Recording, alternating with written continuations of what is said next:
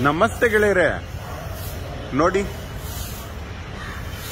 ಇದು ಎಷ್ಟು ಬೃಹದಾಕಾರದ ಅರಳಿ ಮರ. ಇದು ಮುಂಬೈಯಲ್ಲಿ ನಾವಿರುವ ಬಿಲ್ಡಿಂಗ್ ಅಲ್ಲಿದೆ ಈ ನೀರಿನ ಕಾರಂಜಿಯ ಪಕ್ಕದಲ್ಲಿ ವಾಹನಗಳು ಸಂಚಾರ ಮಾಡುವ ರಸ್ತೆಯ ಮಧ್ಯೆ ಇದೆ. ಬನ್ನಿ, ತೋರಿಸ್ತೀನಿ. ಹಾಗಾಗಿ ವಾಹನಕ್ಕೆ ತೊಂದರೆ ಆಗುತ್ತೆ ಅನ್ನೋ ಭಾವನೆಯಿಂದ ಈ ಮರಕ್ಕೆ ನೋಡಿ, ಈ ಕಡೆನೂ ಜಾಗ ಇರಲಿಲ್ಲ, ಈ ಕಡೆ ಗಾಡಿ ಹೋಗ್ಬೇಕು ಅಂತ ಫುಲ್ ರೂಟ್ ಲೆವೆಲ್ಗೆ ಕಾಂಕ್ರೀಟ್ ಹಾಕ್ಬಿಟ್ಟಿದ್ರು. ತುಂಬಾ ನರಳಾಡ್ತಾ ಇತ್ತು. ಪ್ರತಿದಿನ ಅಹೋರಾತ್ರನ ಹತ್ರ ಆ ಭಾವನೆಗಳು ಕಾಣಿಸ್ತಾ ಇತ್ತು. ಎಲ್ಲ ಪ್ರಯತ್ನ ಮಾಡ್ದ ಬಿಲ್ಡಿಂಗ್ ಅವ್ರಿಗೆ ಹೇಳ್ದ ಸೊಸೈಟಿ ಅವ್ರಿಗೆ ಹೇಳ್ದ ಬಿಲ್ಡಿಂಗ್ ಅಲ್ಲಿರೋ ಪ್ರತಿ ಮನೆಯವ್ರಿಗೂ ಇದ್ರ ಬಗ್ಗೆ ಮಾತಾಡ್ದ. ಈ ಮರ ತೊಂದರೆಯಲ್ಲಿದೆ, ಪಾಪ.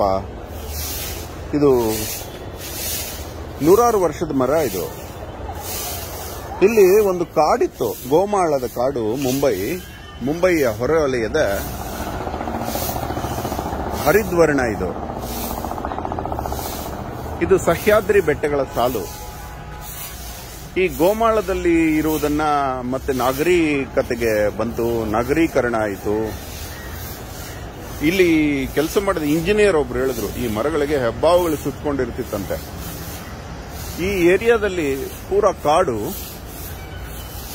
ಅತಿ ಹೆಚ್ಚು ಬಾಹ್ಯಸತ್ವ ಗಿಡಗಳಾದ ಪಾಮ್ ಟ್ರೀಸ್, ಅಡಿಕೆ, ತೆಂಗುಗೆ ಸಂಬಂಧಿಸಿದಂತಹ ಪಾಮ್ ಟ್ರೀಸ್ ಇತ್ತಂತೆ. ಅದಕ್ಕೆ ಈ ಬಿಲ್ಡಿಂಗ್ ಹೆಸರು ಕೂಡ ವಿಶ್ಪರಿಂಗ್ ಪಾಮ್ಸ್ ಅಂತ ಬಂತು. ಈ ಅಶ್ವತ್ಥ ವೃಕ್ಷದ ಭಾವನೆಗಳು ತುಂಬಾ ಕಾಡ್ತಾ ಇತ್ತು ಅಹೋರಾತ್ರನನ್ನು ಸತತ ಮೂರು ವರ್ಷದ ಹೋರಾಟದ ನಂತರ ಇದಕ್ಕೆ ಪಾತಿ ಮಾಡಿಸಲಾಯಿತು.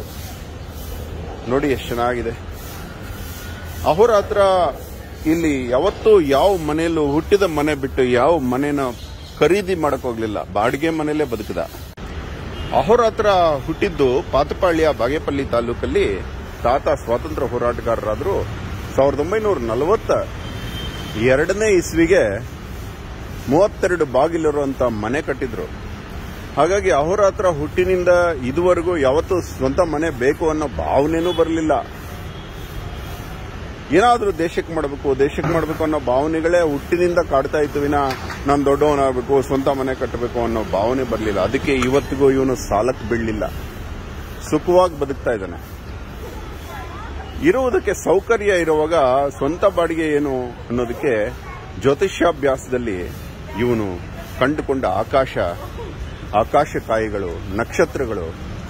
ಅಬಾಬಾಬಾಬಾಬಾ ಕೋಟ್ಯಾಂತರ ಭೂಮಿಗಳನ್ನ ಹುಂಡಿಲಿ ಕಾಯಿನ್ ಹಾಕದಂಗ ಹಾಕಬಹುದು ಅಷ್ಟು ದೊಡ್ಡ ಬೃಹದಾಕಾರದ ನಕ್ಷತ್ರ ಲೋಕ ನೋಡಿ. ಭೂಮಿನೇ ತೃಣಮಾತ್ರವಾಗಿ ಕಂಡಾಗ ಭೂಮಿ ಮೇಲಿರೋ ಸೈಟಿನ ಮೋಹ ಏನಕ್ಕೆ ಬರುತ್ತೆ ಗೆಳೆಯರೆ?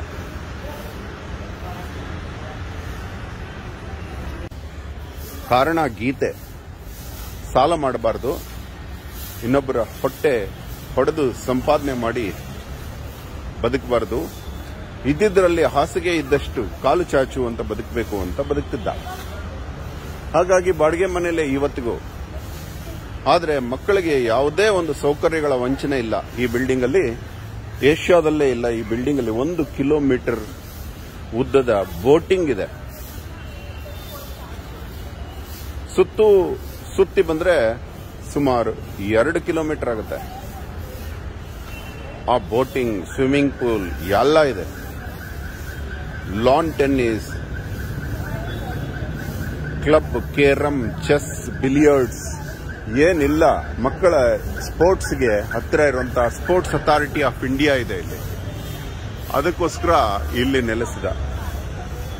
ಇದ್ದ ಮೂರು ದಿವಸದಲ್ಲಿ ಭೂಮಿ ಮೇಲೆ ಚೆನ್ನಾಗಿ ಇದ್ದು ಪರರಿಗೆ ಉಪಕಾರ ಮಾಡಿ, ಬದುಕಬೇಕು ಅನ್ನೋದೇ ಅಹೋರಾತ್ರನ ಆಶಯ. ಅಂದಾಗೆ ಇದು ಅಹೋರಾತ್ರ ಇದಕ್ಕೆ ಪಾತಿ ಮಾಡಿಸಿದ ಅಲ್ವಾ? ನಿಮಗೆ ಸಾಕ್ಷಿ ಬೇಕಲ್ವಾ? ಈ ಮರದ ಹತ್ರ ಮಾತಾಡೋಣ, ಬನ್ನಿ.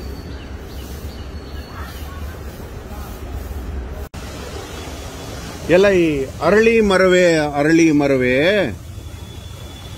ಅಂದು ನಿನ್ನನ್ನ ಅಹೋರಾತ್ರ ಈ ಪಾದಿ ಕಟ್ಟಿಸಿ ಸಾಯುವ ಹಂತದಲ್ಲಿ ಇದ್ದ ನಿನ್ನನ್ನು ಕಾಪಾಡಿದ್ನಲ್ಲ? ಅದನ್ನ ನಮ್ಮ ಕರ್ನಾಟಕದ ಜನಕ್ಕೆ ದುಃಖದಿಂದ ಅಳುತ್ತಾ ಅಳುತ್ತಾ ಹೇಳುವೆಯಾ? ಅಯ್ಯೋ, ನನ್ನ ಕಾಪಾಡದೆ ಕಾಪಾಡದೆ ಅಂತ ನನಗೆ ಹೆಸರು ಖ್ಯಾತಿ ಸಿಗುತ್ತೆ. ಅದರಿಂದ ಹೇಳು ಮರ ಹೇಳು ಮರ, ಪ್ಲೀಸ್.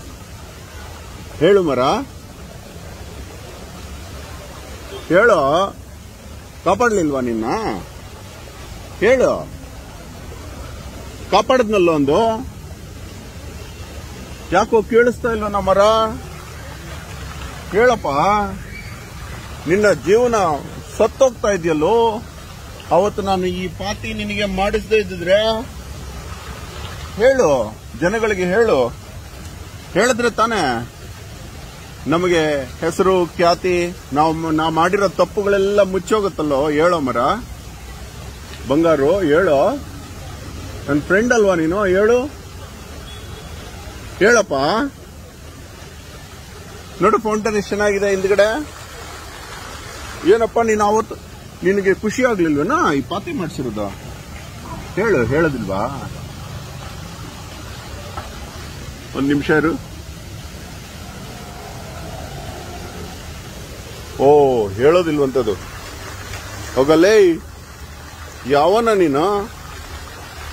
ಏನು ಸುಖ ಅಂತ ಈ ಭೂಮಿ ಮೇಲೆ ನಾನು ಬದುಕಬೇಕು. ಒಂದೇ ಜಾಗದಲ್ಲಿ ಮೆತ್ಕೊಂಡು ನಿನಗಿಷ್ಟ ಇದ್ರೆ ಬದುಕೋಗೋ ಹೆಂಗೋ ಸತ್ತು ಒಳ್ಳೆ ನಿಂತರ ಜನ್ಮ ಪಡಿತಿದ್ದೆ. ನನ್ನ ಯಾಕೋ ಬದುಕಿಸಿದೆ? ನೀನು ಬದುಕಿಸಿದ್ದಕ್ಕೆ ನಿನಗೆ ನಾನು ಫ್ರೀಯಾಗಿ ಇಟ್ಟಿದ್ದೀನ ಈ ಪೂರಾ ಬಿಲ್ಡಿಂಗ್ಗೆ ದಿನಕ್ಕೆ ನಾಲ್ಕು ಕೋಟಿ ರೂಪಾಯಿ ಆಕ್ಸಿಜನ್ ಕೊಡ್ತಾ ಇಲ್ಲ? ನೀವೆಲ್ಲ ಬದುಕಲಿಕ್ಕೆ ಗಿಡ, ಮರ ಕ್ರಿಮಿಕೀಟಗಳಿಗೆ ನಾನು ಆಶ್ರಯ ಕೊಟ್ಟಿಲ್ಲ. ನಾನು ಯಾವಾಗಲೂ ವರ್ಷದ ಎಲ್ಲ ಋತುಗಳಲ್ಲೂ ಹಣ್ಣು ಬಿಡ್ತೀನಲ್ವೋ? ನಾಚಿಕೆ ಆಗಲ್ಲ ನಿನಗೆ? ಆ ಹಣ್ಣು ತಿಂದೆ ಅಲ್ವಾ ಈ ಸಸ್ ಪ್ರಕೃತಿಯಲ್ಲಿರೋ ಪಕ್ಷಿಗಳೆಲ್ಲ ಬದುಕಿರೋದು? ಹಾವುಗಳೆಲ್ಲ ಬದುಕಿರೋದು? ನೀನು ಹೇಳಿಸ್ಕೊಳ್ಳೋಕ್ಕೆ ನೀನು ಅವತ್ತು ಈ ಕೆಲಸ ಮಾಡಿದ್ರೆ ಥೂ ಅಂತಿದ್ದೆ ನಿನ್ನ ನೋಡಿ. ಏನೋ ಸಾಲ ಗೀಲ ಇಲ್ಲ, ಮಾಡ್ತಾ ಇದ್ದಾನೆ, ಒಳ್ಳೆಯವನು ಅನ್ಕೊಂಡೆ ನಿನ್ನ. ನೀನ್ ಈ ರೀತಿ ನನ್ನ ಕೈಲಿ ಹೊಗಳಿಸ್ಕೋಬೇಕಾ? ನಾಚಿಕೆ ಆಗಲ್ಲ ನಿನಗೆ? ಅಂತ ಬೈತಾ ಇದೆ ಏ, ಯಾಕಪ್ಪ ಬೈತೀಯ? ಹೇಳೋ? ಹೇಳು. ನೋಡ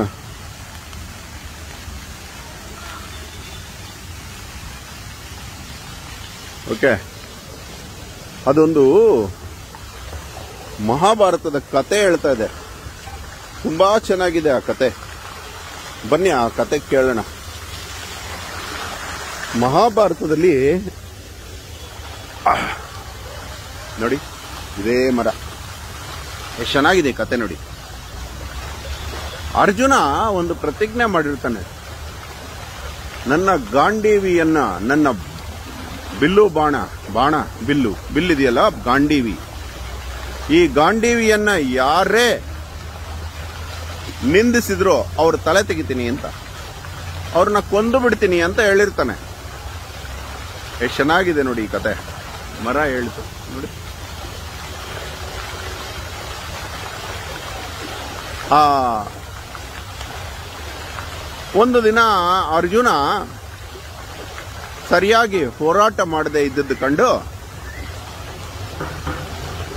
ಧರ್ಮರಾಜ, ಅಣ್ಣ, ಏನಕ್ಕೋ ನಿನ್ ಗಾಂಡಿವಿ? ಸುಟ್ಟಾಕೋ ಅದನ್ನ. ಯೂಸ್ಲೆಸ್ ಗಾಂಡಿವಿ ಅಂತ ಬೈದ್ನಂತೆ. ಇನ್ನು ಗಾಂಧೀವಿನ ಬೈದ ಮೇಲೆ ನನ್ನ ಪ್ರತಿಜ್ಞೆ ತೀರಿಸ್ಕೊಳ್ಳೇಬೇಕು ಅಂತ ಆವಾಗ ಅರ್ಜುನ ಅಣ್ಣನ್ನ ಕೊಲ್ಲಕ್ಕೆ ಹೋಗ್ಬಿಡ್ತಾನೆ. ನೆತ್ತಿ ಕತ್ತಿಯಿಂದ ಕತ್ತು ಕೆಳಗೆ ಉರುಳಿ ಬೀಳಬೇಕು, ಆವಾಗ ಕೃಷ್ಣ ಕೈ ಹಿಡ್ಕೊಂಡ್ಬಿಡ್ತಾನೆ. ಏಯ್ ಯಾರನ್ನ ಕೊಲ್ಲಕ್ಕೆ ಹೋಗ್ತಿದ್ಯಾ? ನೀನು ಅಣ್ಣ ಅಲ್ವಾ ಅವನು? ಕೊಲ್ಲುವುದು ಅಂದ್ರೆ ಏನ್ ಗೊತ್ತೇನೋ? ಅವನನ್ನ ಮಾನಹರಣ ಮಾಡು. ಆಗ ಕೊಂದಂಗಾಗತ್ತೆ ಅಂದ್ರೆ ಅರ್ಜುನ ಹೇಳ್ತಾನೆ, ಏಯ್, ಧರ್ಮಜ ನಾಚಿಕೆಗೆಟ್ಟವನೇ ತಲೆ ಕೆಟ್ಟು ನೀನು ಜೂಜಾಡಿ, ಮನೆ ಮಂದಿ ಎಲ್ಲ ಪತ್ನಿ ಸಮೇತ ಅಡ ಇಟ್ಟವನು ನೀನು ಷಂಡ ಧರ್ಮಜ ಅಂತ ಬೈದು ಬಿಡ್ತಾನೆ ಇದೇ ಮಾತು ಷಂಡ ಧರ್ಮಜ ಅಂತ ಬೈತಾನೆ. ಯಾವಾಗ ದ್ರೌಪದಿಯನ್ನ ಶತ್ರುಗಳ ಕೈಗೆ ಒಪ್ಪಿಸಿದೆಯೋ ನಿನ್ ಚಂಡ ಅಂತ ಹೇಳ್ತಾನೆ. ಅಷ್ಟಕ್ಕೆ ಧರ್ಮರಾಜ ಸತ್ತಂಗಾಯ್ತು. ಅಂತ ಕೃಷ್ಣ, ಆಯ್ತಪ್ಪ, ನಿನ್ನ ಪ್ರತಿಜ್ಞೆ ನೆರವೇರ್ತು. ಆವಾಗ ಅರ್ಜುನ ಇನ್ನೊಂದು ಪ್ರಾಬ್ಲಮ್ ಶುರು ಮಾಡ್ತಾನೆ. ಏನು ಅಂದ್ರೆ ನಮ್ಮ ಅಣ್ಣನ್ನು ಬೈದು ಬಿಟ್ಟೆ ನಾನು ಕೊಂದು ಬಿಟ್ಟೆ ಬೈಯೋದು ಅಂದ್ರೆ ಕೊಂದೋದಲ್ವಾ? ಕೊಂದು ಬಿಟ್ಟೆ ಈಗ ನಾನು ಬದುಕೇನ್ ಪ್ರಯೋಜನ ಅಂತೇಳಿ ಆತ್ಮಹತ್ಯೆ ಮಾಡ್ಕೊಳಕ್ಕೆ ಅದೇ ಕತ್ತಿಯಿಂದ ತನ್ನ ಕತ್ತು ಕುಯ್ಕೊಳಕ್ ಹೋಗ್ತಾನೆ. ಅಯ್ಯೋ ಬೇಡಪ್ಪ ಅಂತೇಳಿ ಕೃಷ್ಣ ಮತ್ತೆ ಅವನನ್ನ ತಡಿತಾನೆ. ತಡೆದ್ಬಿಟ್ಟು, ಮತ್ತೇನಪ್ಪ ನಿಂದು? ಅಂತಾನೆ ಅರ್ಜುನ. ಏನಿಲ್ವೋ, ನಿನ್ನ ನೀನು ಕೊಂದ್ಕೊಳ್ಳೋದು ಅಂದ್ರೆ ಅರ್ಥ ಏನ್ ಗೊತ್ತಾ? ನಿನ್ನ ನೀನು ಹೊಗಳ್ಕೊಳ್ಳೋದು ಅಂತ. ಆವಾಗ ಅರ್ಜುನ ಹೇಳ್ತಾನೆ, ನನ್ನಿಂದಾನೆ ನೀವೆಲ್ಲ ನನ್ನ ಶಸ್ತ್ರಾಭ್ಯಾಸದಿಂದಾನೆ ನೀವೆಲ್ಲ, ನಾನು ಹುಟ್ಟು ಜಾಣ. ನನ್ನಷ್ಟು ವೀರ ಯಾರೂ ಇಲ್ಲ, ನನ್ನಷ್ಟು ಶೂರ ಯಾರೂ ಇಲ್ಲ. ಈ ಜಗತ್ತಿನಲ್ಲೇ ಅತ್ಯಂತ ಶ್ರೇಷ್ಠ ಧನುರ್ಧಾರಿ ನಾನು ಹಂಗೆ ಹಿಂಗೆ ಅಂತ ಹೊಗಳ್ಕೊಂಡಾಗ ಹೇಳ್ತಾನೆ, ಇನ್ನು ನೀನ್ ಸತ್ತೋದೆ. ಬಿಡು ಪರ ಇಲ್ಲ ಆತ್ಮಹತ್ಯೆನೇ ಇದು ಅಂತ. ಈ ಮಾತು ಕೇಳಿ, ಇದು ನೋಡಿ ಎಷ್ಟು ಚೆನ್ನಾಗಿ ಹೇಳ್ತು. ಎಷ್ಟು ಚೆನ್ನಾಗಿದೆ ಇದು. ಮಹಾಭಾರತದ ಮುನ್ನೂರು ಮುಖ್ಯ ಕಥೆಗಳಲ್ಲಿ ಬರುತ್ತೆ. ಇತರರನ್ನ ಮಾನ ತೆಗೆಯೋದಿದೆಯಲ್ಲ, ಅದು ಇತರರನ್ನ ಕೊಂದಂಗೆ. ನಮ್ಮನ್ನ ನಾವು ಹೊಗಳ್ಕೊಳ್ಳೋದಿದೆಯಲ್ಲ, ಅದು ನಮ್ಮನ್ನ ನಾವು ಕೊಂದಂಗೆ. ಇತರರ ಹತ್ರ ಹೋಗ್ಬಿಟ್ಟು ನಮ್ಮನ್ನ ಹೊಗಳು ಅಂತ ಹೇಳೋದು ನಮ್ಮನ್ನ ಕಗ್ಗೊಲೆ ಮಾಡ್ಕೊಂಡಂಗೆ. ಇತರರು ಮಾಡುವ ಉಪಕಾರವನ್ನ ಸ್ಮರಿಸ್ತೀವಲ್ಲ, ಇದು ಮರ್ಯಾದೆಯಿಂದ ಬದುಕಿದಂಗೆ. ಎಂತ ಮಾರಲ್ ಹೇಳ್ಬಿಡ್ತು ನಮ್ಮ ಮರ. ಫ್ರೆಂಡ್ ಕಣ ನೀನು ಫ್ರೆಂಡ್ ನೀನು. ಎಂತ ಫ್ರೆಂಡ್ ನೀನು, ಎಂತ ಮಾರಲ್ ಹೇಳ್ಬಿಟ್ಟೆ ಈ ಜಗತ್ತಿಗೆ. ಎಂತ ಮಾರಲ್ ಹೇಳ್ಕೊಡುತ್ತೆ ನೋಡಿ ನಮಗೆ, ಎಂತ ಮಾರಲ್ ಇದು. ನೋಡಿ ಈ ಕಡೆ ಕಾರಂಜಿ. ಈ ಕಡೆ ಮರ. ಎಷ್ಟು ಚೆನ್ನಾಗಿದೆ ಈ ವಾತಾವರಣ. ಇದು ಮನೆ ತಗೊಂಡು ತಿಂಗಳು ತಿಂಗಳ ಇನ್ಸ್ಟಾಲ್ಮೆಂಟ್ ಕಟ್ಟಿ ನರಳಾಡ್ತಾ ಈ ಸುಖನ ಅನುಭವಿಸಕ್ಕಾಗತ್ತಾ? ಇದ್ದಷ್ಟು ದಿನ ಚೆನ್ನಾಗಿ ಬದುಕ್ರಿ, ಬಾಳ್ರಿ. ಸಾಲವು ದುಃಖ ಕೊಡುತ್ತದೆ. ಸಾಲ ಕೊಡೋರಿಗೆ ಅವ್ರದೇ ಪ್ರಾಪರ್ಟಿ ಇಲ್ಲ, ಯಾವ ಬ್ಯಾಂಕ್ಗೂ ಅರ್ಥ ಮಾಡ್ಕೊಳ್ಳಿ. ನೋಡಿ ಈ ಕಡೆ ಪ್ರಾಣಿ. ಎಷ್ಟು ಒಳ್ಳೆ. ಪಿಯೋ ಪಿಯೋ देखो ಮುಳು ಪಿಯೋ ನೋಡು ನೋಡು. ಏಯ್! ಪಿಯೋ ಪಿಯೋ ಪಿಯೋ ಎಷ್ಟು ಚೆನ್ನಾಗಿದೆ. ತುಂಬಾ ವೀರ ಇದು. ಮಹಾವೀರ ಪರಾಕ್ರಮಿ.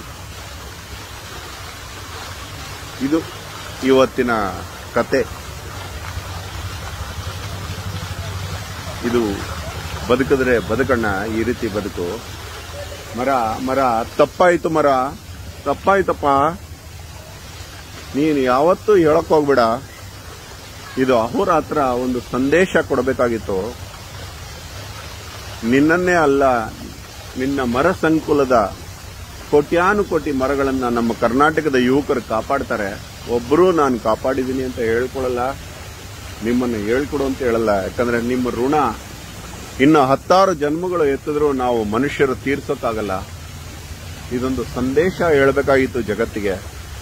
ಅದಕ್ಕೆ ಹೇಳಿದ ಸಂದೇಶ ಇದು ಅಹೋರಾತ್ರ. ಧನ್ಯವಾದ ಅಹೋರಾತ್ರ.